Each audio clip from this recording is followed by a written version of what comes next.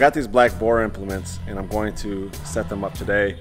I'm probably not going to use them today because my RZR's 15 miles away and I really, it's a little early to be planting, but probably about a month we're gonna go up to the UP again and I'm gonna use these as well as the rototiller that I left up there. If it's still there, I'm sure it's there. We're gonna do a whole bunch more work up there to try to get the deer to come in this year. You know, we had bad luck last year. I think we saw three deer total and I saw two of them. Can't remember, but it wasn't a lot. It was not a lot of deer. We're gonna be taking a bunch of fertilizer and lime and do the proper, all the soil checks and all that stuff. But for now, I'm going to get this put together. I just wanna make sure for everybody that's watching, this is not a how-to video of how to set this up. It's kind of a review though, how to set this up. How easy is this for just, you know, the regular guy? It looks like it doesn't take many tools, so I'm not gonna be doing a step-by-step -step in this video, so if that's what you're looking for, you know, this is not the video for you. So it starts with the implement lift. I decided to go motorized because when I'm up there for the food plots and stuff, this is gonna be mostly small little areas. So I'll be doing a lot of stopping, backing up and turning around and all that stuff. It's not like a field where I can just keep the thing down the whole time. I'll be in woods and I need to do a lot of little turns. So I went with the motorized implement because it makes it that much easier. I got the disc and then I got the added weight. I'm on the Spanish side, so I don't know what it says.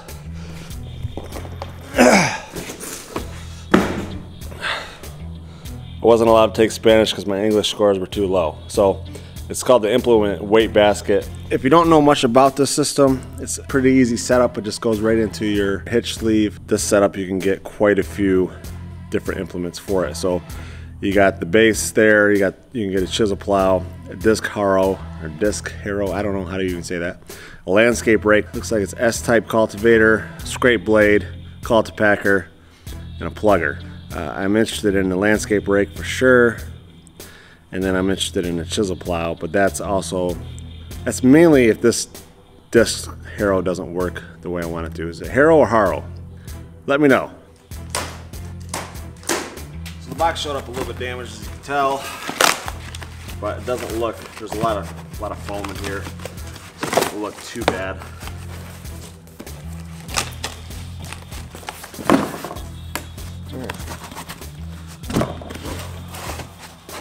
Mix foam, everything's in place. Got a box. It's your main area. I don't know what you call it yet. I'm sure they have names for it when we get in here.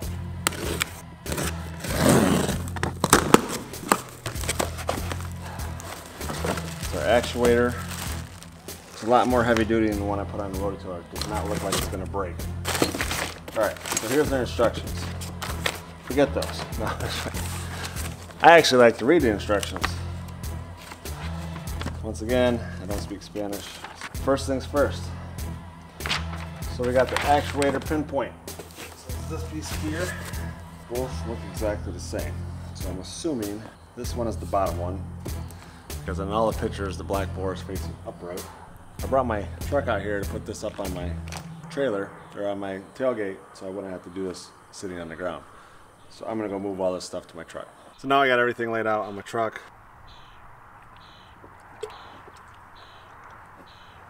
Not good. This is pretty much the gist of it for now. I got my directions down here. Now this is a really heavy duty actuator. First things first, gotta connect these two pieces here this way, and then it is this way. Okay. one of these, washer, one of these in the middle.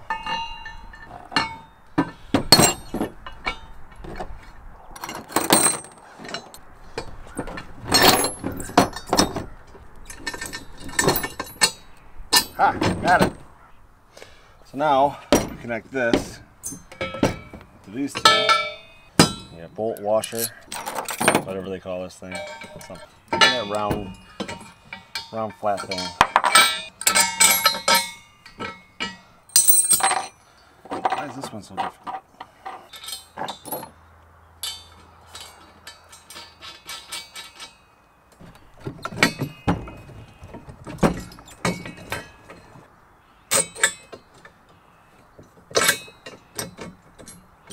These up. Three quarter inch.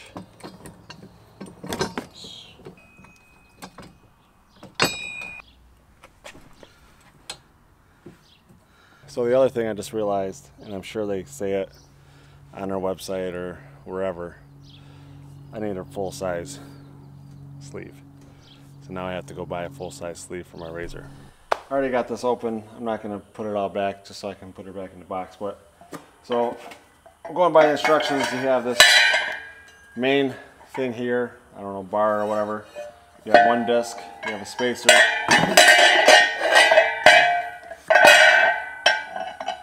And then you got a little spacer. You got a bearing. You got spacer, bearing, spacer, disc.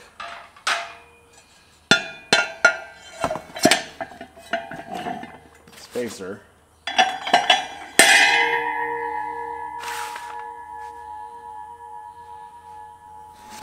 Disc. Spacer. Bearing. I think these are called bearings. Like I said, I'm not real smart with names and stuff. Spacer, disc, then the last spacer.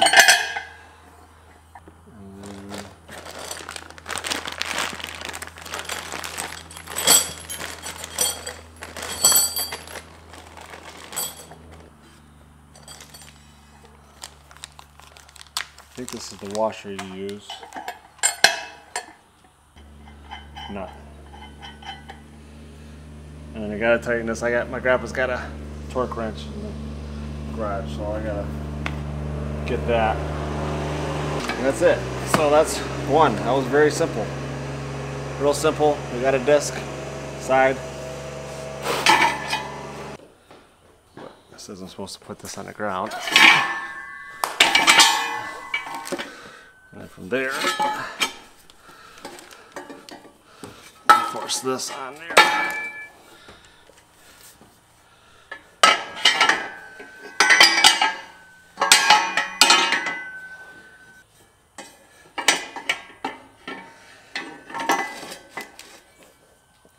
Can't tell. I think that's how it goes. Looks like they go on one side and you just slide it over. So you put that on there and then we'll bolt this on here and that's a wrap for this.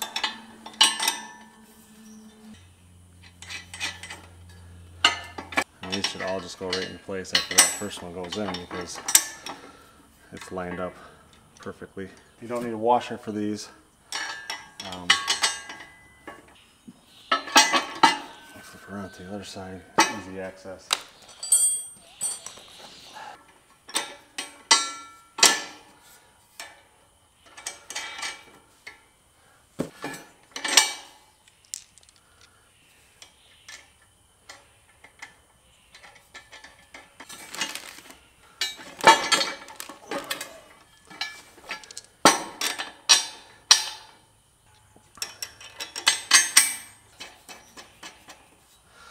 All right.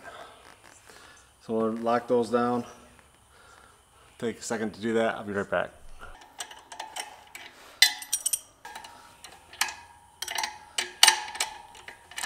So that was pretty easy.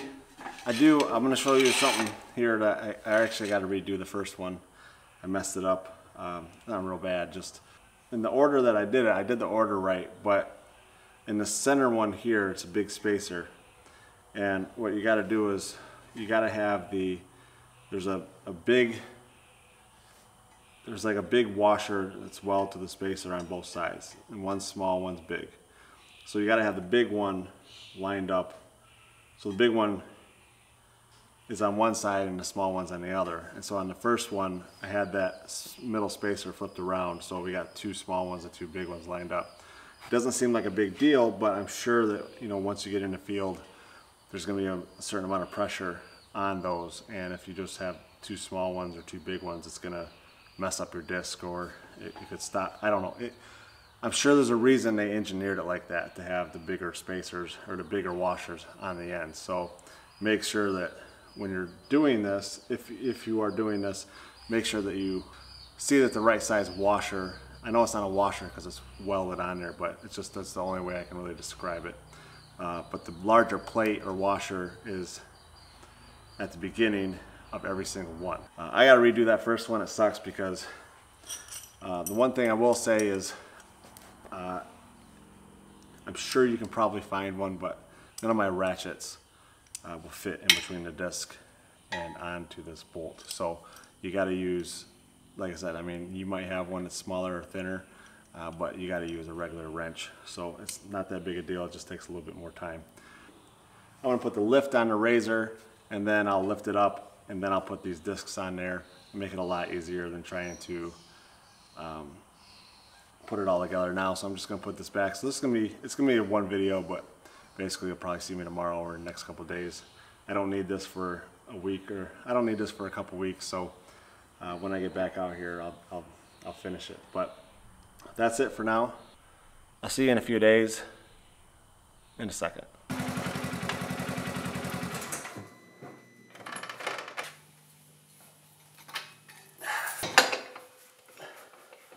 It's been a month since I started this video. The house is kind of taken over, but I'm out here today. I have the black boar set up on the RZR. So I had to put a new sleeve on it. I think that's what it's called. I don't know. I feel like the sleeve would be the one that goes around it, but whatever, you know, goes around the hitch. Anybody that's looking to buy this package, if you have a one and a half inch sleeve, the most ORVs come with. So most like ATVs, UTVs, etc. have or one and a half inch sleeve. If you do have that, you're going to need to upgrade to a two inch sleeve. Now, this is a 2015 RZR. I found the prices for the conversion anywhere from I think 60 is what I paid for this one, all the way up to $100. This one actually, even though it was the least expensive, had like a steel. So that's the one I went with, plus it was the cheapest. But it's real easy bolt on. You got uh, two bolts to bolt to the main frame, and then one you just put through. You got another bolt that goes just through this hole, which is equivalent to this hole in the one and a half inch. So now I have to raise it up, so I have to hook up the electric real quick. I'm just gonna do a temporary hookup. I'm not gonna do a full hookup where I put everything through the body and so on. So you got the connector that connects to the actuator. I keep calling it oscillator, it's the actuator. And then this one here uh, is the fuse, and then this goes. Now this is made to hook to a handlebar. I'm hooking it up to the RZR's Ocean bar, and that should work for now. Anyway, so I need to lift it up so I can put the discs on there. Then once I put the discs on there, uh, we'll give it a test run, maybe today. I'm already behind schedule. I've been working on the house all day.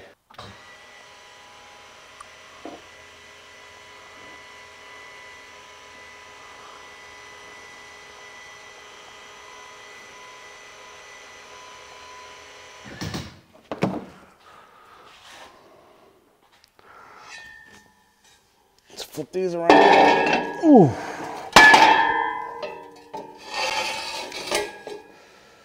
And then I gotta look at the chart. I think I want it going the other way.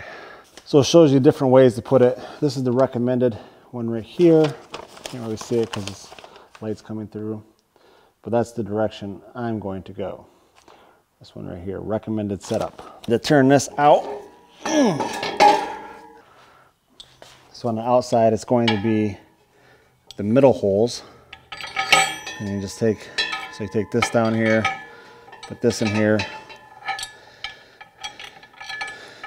and then the washers, and then the nut. So if I just put my hands on the nut, I know, somebody's gonna say something. All right, so then now, four inches in is what it says.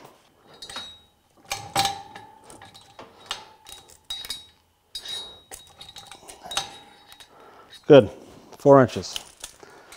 Four-ish inches. All right, so I gotta go get a wrench. We'll tighten this down. I'll do the other side and then maybe we'll give it a test run real quick. I don't have any blocks here, so we're just gonna try it without the weight basket. Uh, they're at my house. I have a bunch left over from when we did our basement, so I'll grab a couple of those. And But we'll just test it out, see how well it works without the weights. but it has been very dry this year. So the ground is going to be probably pretty hard. So if this can get down into the ground uh, without any rain, then we're probably going to have some success uh, when we get to the UP because that ground is very hard. I'm still going to take the weights anyway, but it's just a point. So this is just a three quarter inch nut. Still baby crank.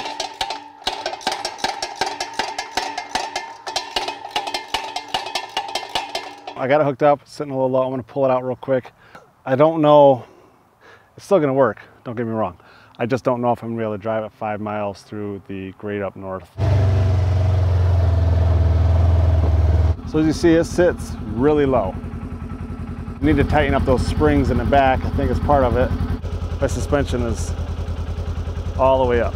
So I think I'm gonna have to crank those down, put a lot more tension on them, and then that'll help out quite a bit. So I mean, it's pretty much touching the ground right now.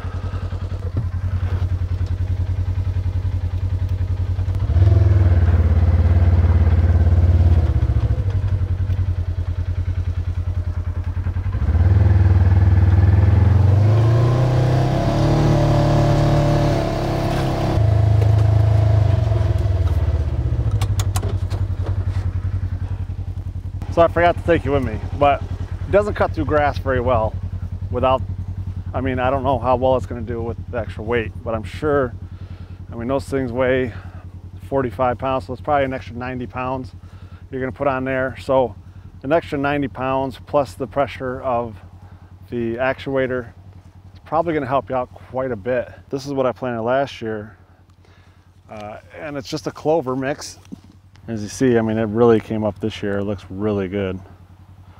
I'm really excited about it. So if I just keep going back and forth on this, it'll do all right.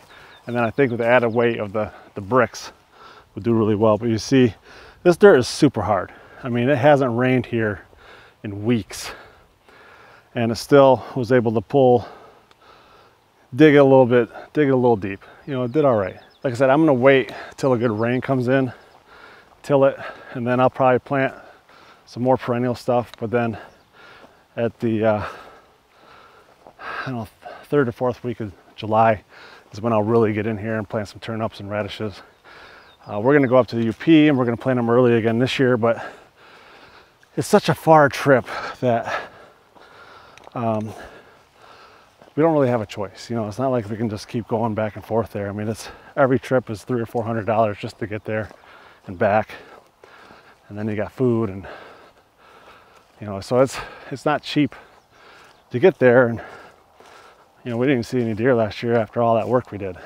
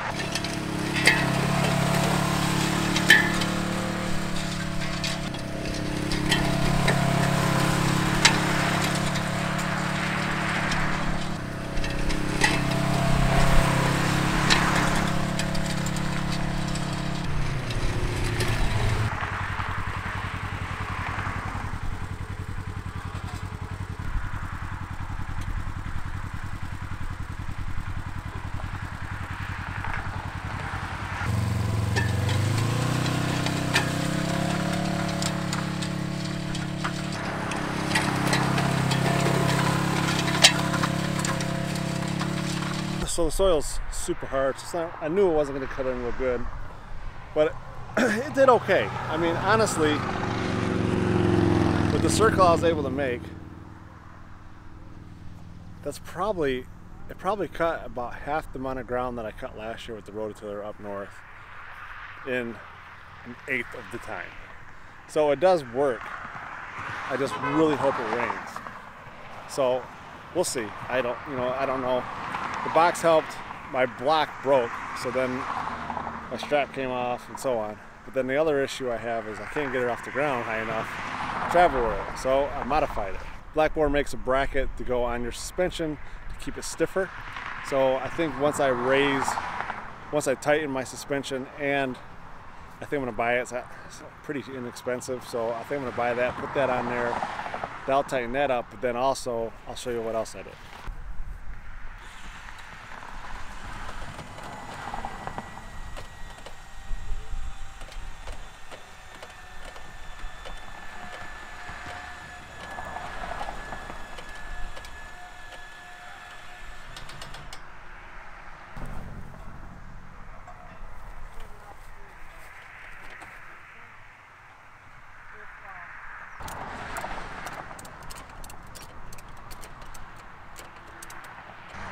So, I had, on the way here, I two straps on. This one here, so this one here, and then I put one on this side here.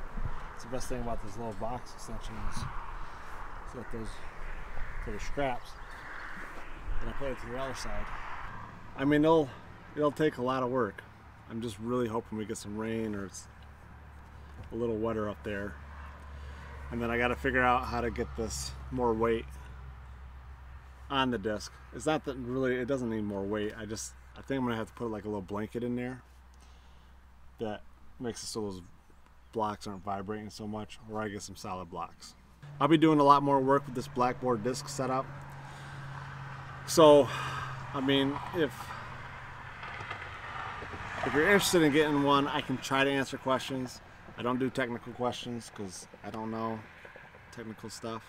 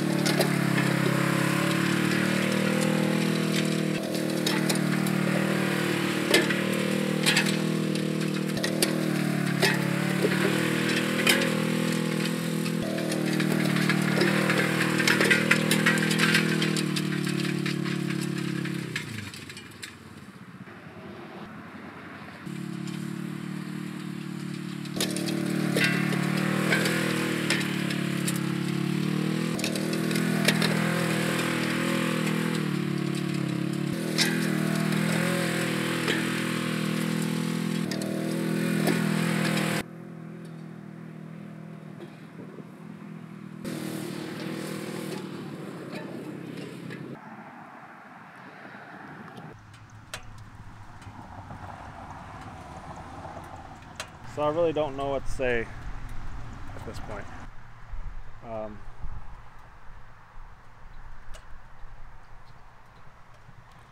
yeah, I don't, I, won't, I don't really know what to say. I,